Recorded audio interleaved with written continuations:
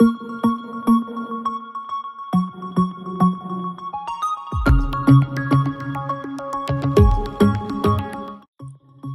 กสารหลักฐานการศึกษาตามหลักสูตรแกนกลางการศึกษาขั้นพื้นฐานนะครับ เอกสารหลักฐานการศึกษาถือเป็นเอกสารสำคัญที่สถานศึกษาต้องจัดทำขึ้น เพื่อใช้ในการดำเนินงานในด้านต่างๆ ของการจัดการศึกษามีดังนี้นะครับ ใช้บันทึกข้อมูลในการดำเนินการจัดการเรียนการสอน และประเมินผลการเรียน ได้แก่ แบบบันทึกผลการเรียนประจำรายวิชา ใช้ติดต่อสื่อสาร รายงานข้อมูล และผลการเรียนของผู้เรียน ได้แก่ แบบรายงานประจำตัวนักเรียน ระเบียนสะสม จัดทำและออกหลักฐานแสดงวุฒิและหรือรับรองผลการเรียนของผู้เรียน ได้แก่ ระเบียนแสดงผลการเรียน ประกาศนียบัตร แบบรายงานผู้สำเร็จการศึกษา และใบรับรองผลการเรียนนะครับ หลักสูตรแกนกลางการศึกษาขั้นพื้นฐาน พุทธศักราช 2551 ได้กำหนดเอกสารหลักฐานการศึกษา ที่สถานศึกษาจะต้องดำเนินการเป็น 2 ประเภท ได้แก่ เอกสารหลักฐานการศึกษา ที่กระทรวงศึกษาธิการกำหนด และเอกสารหลักฐานการศึกษา ที่สถานศึกษากำหนดนะครับ อันดับแรกปพ 1ระเบียนแสดงผลการเรียนสำหรับบันทึกข้อมูลผลการเรียนของนักเรียน ตามเกณฑ์การผ่านช่วงชั้น เพื่อใช้ประโยชน์ในด้านต่างๆ ดังนี้ 1. แสดงผลการเรียนของนักเรียน ตามโครงสร้างหลักสูตรสถานศึกษา 2. รับรองผลการเรียนนักเรียน ตามข้อมูลที่บันทึกในเอกสาร 3. ตรวจสอบผลการเรียน และวุฒิการศึกษาของนักเรียน และข้อ4นะครับใช้เป็นหลักฐานแสดงวุฒิการศึกษา เพื่อสมัครเข้าศึกษาต่อ หรือว่าสมัครงานนะครับ ข้อ 2 ปพ2เป็นหลักฐานแสดงวุฒิการศึกษา หรือประกาศนียบัตรนะครับ เป็นวุฒิบัตรที่มอบให้กับนักเรียนที่สำเร็จการศึกษา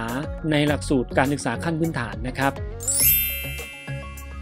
ข้อ 3 ปพ 3 คือแบบรายงานผู้สำเร็จการศึกษานะครับสำหรับบันทึกข้อมูลสรุปผลการเรียนของผู้สำเร็จการศึกษา ตามหลักสูตรแต่ละช่วงชั้น เป็นเอกสารที่ผู้บริหารโรงเรียน ใช้สำหรับตัดสิน และอนุมัติผลการเรียน ให้กับนักเรียนที่จบช่วงชั้น เป็นเอกสารรับรองวุฒิทางการศึกษา จากกระทรวงศึกษาธิการนะครับ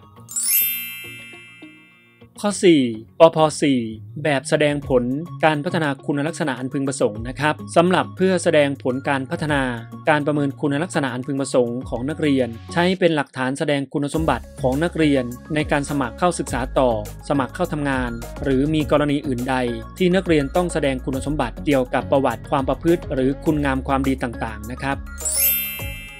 ข้อ 5ปพ5คือเอกสารบันทึกการพัฒนาคุณภาพผู้เรียน เป็นเอกสารที่โรงเรียนจัดทำขึ้น เพื่อให้ผู้สอนใช้บันทึกข้อมูล การวัดและการประเมินผลการเรียนของนักเรียนนำไปใช้ประโยชน์ก็คือ 1. เป็นเอกสารประกอบการดำเนินงาน ในการวัดและประเมินผลการเรียนของนักเรียน และ 2. เป็นหลักฐานสำหรับตรวจสอบ รายงานและรับรองข้อมูล เกี่ยวกับวิธีการ และกระบวนการวัดและประเมินผลการเรียนนะครับ ข้อ 6 ปพ 6 คือแบบรายงานผลการพัฒนาคุณภาพ ผู้เรียนรายบุคคล หรือที่เราเรียกว่าสมุดพกนะครับ เพื่อบันทึกข้อมูลการประเมินผล การเรียนรู้ และ พัฒนาการด้านต่างๆ ของนักเรียนนำไปใช้ประโยชน์คือ 1. รายงานผลการเรียน ความประพฤติ และพัฒนาการของนักเรียนให้ผู้ปกครองทราบ 2. เป็นเอกสาร สื่อสาร ประสานงาน เพื่อความร่วมมือในการพัฒนาและปรับปรุงแก้ไขนักเรียน และ 3. นะครับ เป็นเอกสารสำหรับตรวจสอบ ยืนยัน และรับรองผลการเรียน และพัฒนาการต่างๆ ของนักเรียนนะครับ ข้อ 7 ปพ7คือใบรับรองผลการศึกษานะครับ เป็นเอกสารที่โรงเรียนจัดทำขึ้น เพื่อใช้เป็นเอกสารรับรอง สถานภาพนักเรียน หรือผลการเรียน เป็นการชั่วคราว ที่นักเรียนร้องขอนำไปใช้ประโยชน์ก็คือ 1. รับรองความเป็นนักเรียนของโรงเรียนที่เรียนหรือเคยเรียน 2. รับรองและแสดงความรู้วุฒิของนักเรียน 3. แสดงคุณสมบัติของนักเรียนในการสมัครเข้าศึกษาต่อ หรือสมัครเข้าทำงาน และ 4. เป็นหลักฐานตรวจสอบ รับรอง ยืนยันการใช้สิทธิ์ ความเป็นนักเรียน หรือการได้รับการรับรองจากโรงเรียนนะครับ ข้อ 8 ปพ 8 คือระเบียนสะสมนะครับ เป็นเอกสารที่โรงเรียนจัดทำขึ้น เพื่อบันทึกข้อมูลเกี่ยวกับพัฒนาการของนักเรียนในด้านต่างๆ เป็นรายบุคคลนำไปใช้ประโยชน์ดังนี้นะครับ 1. ใช้เป็นข้อมูลในการแนะแนวทางการศึกษา และประกอบอาชีพของนักเรียน 2. ใช้เป็นข้อมูลในการพัฒนาปรับปรุงบุคลิกภาพ ผลการเรียน และการปรับตัวของนักเรียน 3. ใช้ติดต่อสื่อสาร รายงานพัฒนาคุณภาพของนักเรียน ระหว่างโรงเรียนกับผู้ปกครองและข้อ 4 นะครับใช้เป็นหลักฐานสำหรับตรวจสอบ รับรอง และยืนยันคุณสมบัติของนักเรียนนะครับ ข้อ 9 ปพ 9 คือสมุดบันทึกผลการเรียนรู้นะครับ เป็นเอกสารที่โรงเรียนจัดทำขึ้น เพื่อแสดงรายวิชาทั้งหมดตามหลักสูตรของโรงเรียน พร้อมด้วยรายละเอียดของแต่ละรายวิชา ประกอบด้วย ผลการเรียนรู้ที่คาดหวัง สาระการเรียนรู้คำอธิบายรายวิชา และผลการประเมิน ผลการเรียนของนักเรียนนำไปใช้ประโยชน์ก็คือ 1. ศึกษาหลักสูตรของโรงเรียนในแต่ละช่วงชั้น 2. บันทึกและแสดงผลการเรียนของนักเรียน ในการเรียนแต่ละรายวิชา 3. รายงานผลการเรียนรู้ให้ผู้ปกครองและผู้ที่เกี่ยวข้องได้รับทราบ 4. ใช้เป็นข้อมูลในการเทียบโอนผลการเรียน ในกรณีที่นักเรียนเนี่ยย้ายโรงเรียน และข้อ5นะครับนักเรียนใช้ศึกษาหลักสูตรของโรงเรียนสำหรับในการวางแผนในการเรียนนะครับ คราวนี้เรามาดูในแต่ละประเภทนะครับ อันดับแรกคือเอกสารหลักฐานการศึกษาที่กระทรวงศึกษาธิการกำหนด ประเภทควบคุม และบังคับแบบเอกสารหลักฐานเหล่านี้ กระทรวงศึกษาธิการเป็นผู้กำหนดแบบ แนวทางวิธีการกรอกและควบคุมโดยให้รับผิดชอบในการพิมพ์ การสั่งซื้อ และการเก็บรักษาอย่างมีระบบ มีอยู่ด้วยกัน 3 แบบก็คือ ปพ 1 ปพ 2 และปพ 3 นะครับ ซึ่งรัฐมนตรีว่าการกระทรวงศึกษาธิการจะลงนามประกาศใช้แล้วทั้ง 3 แบบดังนี้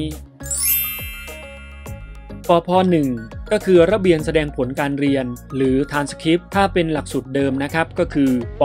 05 ในระดับประถมศึกษา หรือรอบ1 ต่อรอบ1 ป ในระดับมัธยมศึกษานะครับจุดประสงค์ของเอกสารหลักฐานปพ 1 ซึ่งเป็นหลักฐานแสดงผลการเรียน จบในแต่ละช่วงชั้น จบชั้นป 3 ป 6 ม 3 และม 6 นะครับ ปพ2เป็นหลักฐานแสดงวุฒิการศึกษา หรือประกาศนียบัตร จุดประสงค์ของเอกสารหลักฐานปพ2ก็คือ เป็นหลักฐานแสดงการจบหลักสูตรของนักเรียน เป็นรายบุคคลนะครับ เมื่อจบหลักสูตรการศึกษาภาคบังคับก็คือม 3 และเมื่อจบหลักสูตรการศึกษาขั้นพื้นฐานก็คือม 6 นะครับ ปพ3เป็นแบบรายงานผู้สำเร็จการศึกษา หรือเดิมก็คือป02ของระดับประถมศึกษา รบ2ต่อรบ2ปของระดับมัธยมศึกษานะครับ จุดประสงค์เพื่อเป็นหลักฐานแสดงผลการตัดสิน และอนุมัติให้ผู้เรียนจบหลักสูตรการศึกษาขั้นพื้นฐาน ในแต่ละช่วงชั้น จบชั้นป 3 ป 6 ม 3 และม 6 นะครับ ต่อมาเรามาดูประเภทที่ 2 นะครับ เป็นเอกสารหลักฐานการศึกษาที่สถานศึกษากำหนด เอกสารหลักฐานการศึกษาประเภทนี้ โรงเรียนหรือว่าสถานศึกษาจะคิดออกแบบในลักษณะใด หรือมีกี่แบบก็ได้นะครับ ไม่จำเป็นต้องมีปพ4ปพ5ปพ6ปพ7ปพ8หรือปพ9ก็ได้นะครับอำนาจในการออกแบบหรือคิดแบบของโรงเรียน แต่ละโรงเรียนเนี่ยมีสิทธิ์คิดได้เองนะครับ ไม่ได้มีการบังคับใช้แบบ แต่สำนักงงานทดสอบทางการศึกษาของกรมวิชาการเดิมนะครับ พิจารณาเห็นว่าการที่ไม่มีแนวทางในการจัดทำเอกสารหลักฐาน การศึกษาที่เป็นหน้าที่โดยตรงของแต่ละโรงเรียนที่ต้องคิดออกแบบ เพื่อให้เหมาะสม สอดคล้องกับลักษณะการดำเนินงานของแต่ละโรงเรียน คงจะสร้างความสับสน จึงเชิญคณะกรรมการมาช่วยกันออกแบบ หลักฐานการศึกษาของโรงเรียน เพื่อใช้เป็นตัวอย่างเป็นแนวทางให้กับโรงเรียนได้ศึกษาไปดัดแปลงตามใจชอบ โดยได้คิดออกแบบทั้งหมด 6 แบบก็คือ ปพ4แบบแสดงผลการพัฒนาคุณลักษณะอันพึงประสงค์ จุดประสงค์เพื่อเป็นเอกสารหลักฐาน รายงานพัฒนาการด้านคุณลักษณะอันพึงประสงค์ ที่โรงเรียนทำขึ้น ตามวิสัยทัศน์ของโรงเรียนของนักเรียนเป็นรายบุคคลนะครับ ปพ5แบบบันทึกผลการพัฒนาคุณภาพผู้เรียน ถ้าเป็นหลักสูตรเดิมก็คือป02 ของปฐมศึกษานะครับรบ3ตรบ3ปของมัธยมศึกษานะครับเป็นแบบบันทึกข้อมูล ผลการประเมินการเรียน สรุปผลการประเมินผล สรุปเวลาเรียน ระดับผลการเรียนของนักเรียนแต่ละคนที่เรียนในห้องเรียน หรือกลุ่มเดียวกันนะครับ ปพ6แบบรายงานผลการพัฒนาคุณภาพผู้เรียนรายบุคคล ถ้าเป็นหลักสูตรเดิมก็คือ สมุดรายงานประจำตัวนักเรียน ซึ่งในปัจจุบันก็คือ แบบรายงานผลการพัฒนาคุณภาพของนักเรียน เช่นเดียวกันครับปพ7ใบรับรองผลการศึกษา ถ้าเป็นหลักสูตรเดิมก็คือ รบ4ตรบ4ปนะครับ เป็นเอกสารแสดงสถานภาพ การเรียนของนักเรียนในลักษณะต่างๆ เป็นการชั่วคราวนะครับ ปพ8ระเบียนสะสม ถ้าเป็นหลักสูตรเดิมก็คือ ระเบียนสะสมเหมือนกัน ก็คือป06รบ6ต